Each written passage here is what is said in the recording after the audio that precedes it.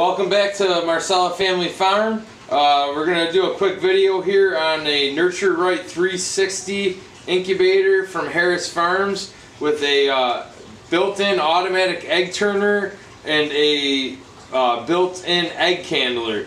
So when I say built-in egg candler, it's not as cool as you'd think. It's not actually built in to the incubator. You do still have to remove the top. Uh, and then what you would do is you'd hit the button here. As you can see, you got a nice bright LED light here. And you're going to take the fat end of an egg and you'll put it on here to see if there's uh, any life. Now you want to be careful that your hands are clean when you do this with your eggs. Uh, and you also want to make sure that you kind of do it quickly, you know, between five and eight minutes from when the top's are removed because extreme fluctuations in temperature and humidity can affect your hatch rate. Um, so it's a nice little feature. Maybe someday they'll make one that's actually internal where you don't even have to take the top off or remove the eggs. Uh, but it's nice to have it there so you're not looking for your LED flashlight. so we, we actually picked this one up because we thought it was pretty unique compared to the other incubators we used. The ones in the past uh, did, ha did not have still air. They did have air fluctuation in them with fans. Uh, but they're big, basically styrofoam containers. This was a little different. Uh, it does have an automatic egg turner. And most egg turners that we dealt with in the past actually just took the eggs and they moved them uh, backwards and forwards throughout the course of the day. On this one here, it has an automatic turner, which you can tell is on when the red egg light is on here. Okay? And then if you want to test it, you're going to press the, the two uh, plus and minus buttons right here and hold it down, and you're going to see the eggs rotate. So this simulates uh, what the mother hen would do in the nest. So that's a function that is done automatically if you set it to an actual 21 day cycle. Uh, when it hits day 18, it'll stop uh, turning the eggs. So what you can also do is we always set ours for a couple days longer. So what happens for us is when we know it's day 18, we're going to manually unplug the one cord here that's for the egg turner. So that'll stop. You'll then take the top off and you're going to remove the turner so that the eggs can lay flat and hatch. Another nice feature on this uh, Nurture Right 360 is it actually has a nice external external port here for uh, adding your water for the humidity. You want to keep your humidity between 50 and 55% for the first 18 days of incubation. Uh, port A does not have a red plug in it and port B does. What we did was we actually bought a nice little uh, water bottle here from Walmart. I think it was 99 cents and it makes it really easy to fill.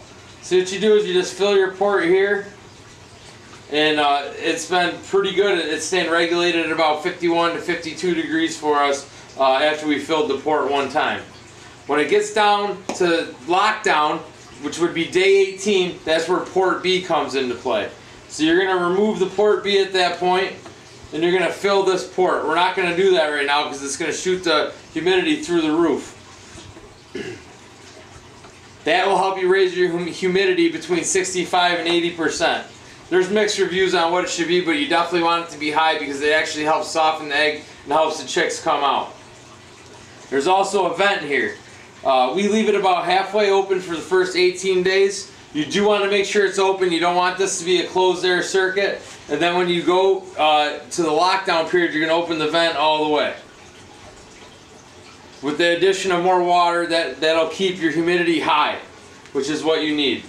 Uh, and you can see, you know, it's adjusting 50, 49, uh, right in that range, that, that all works out pretty good.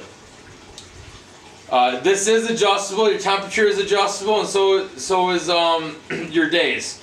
To adjust that, you're going to hold this button for three seconds.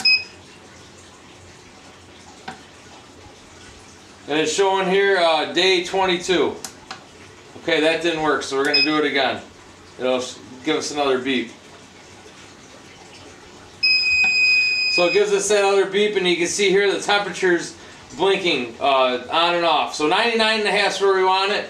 So we're just going to hit OK. And now it's going to days. So we set ours to day uh, 23. Uh, you only have to set it for 21 for chicken and 28 for duck. Uh, we do 23 because we found sometimes on the, the larger breeds it takes a day longer, and sometimes actually on the smaller breeds, it's a day sooner that they hatch. Uh, but to eliminate that from happening, we you know add the extra couple days on there and we remove the egg turning function on our own. So that those are the features that are offered in this. Uh, we've seen that uh, it's actually holding the temperature pretty well. It's holding the humidity pretty well. And uh, we're going to do an update video in a couple weeks here. We'll probably do a candling video in about 10 days. And then we'll do an update video to show you uh, hopefully some live action of some chicks hatching in here. And uh, show you what our hatch rate is. Now we don't expect our hatch rate to be perfect. We tried to get these eggs in as soon as we could, but it has been very cold out. Uh, luckily, some of the, the younger chickens were already broody, so they kept they kept some of these uh, eggs nice and warm. Uh, but we do think there's going to be some fallout from some of these eggs getting too cold and possibly getting close to freezing. Uh, but it does hold 22 eggs, which is a little less than the other incubators we use. But if it gives you better results, uh, we're, we're all for it. Uh, we really hope you enjoyed this video. Hopefully it was infor informational. And uh, hopefully our future videos can help you make a decision on whether or not this incubator works for you. Uh, we're really looking for more subscribers. That way we can put more out. Uh, the more subscribers we have, the, the more videos we can do and the more informational uh, type things we can put out there. Uh, please give us a big thumbs up and subscribe. Thank you.